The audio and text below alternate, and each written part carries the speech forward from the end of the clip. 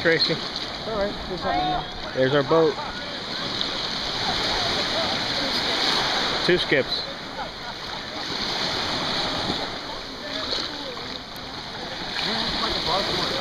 Huh? Here, I'm gonna bring that. I don't know. It was pretty lame. Babe. Here we are on our catamaran trip. bye bye now.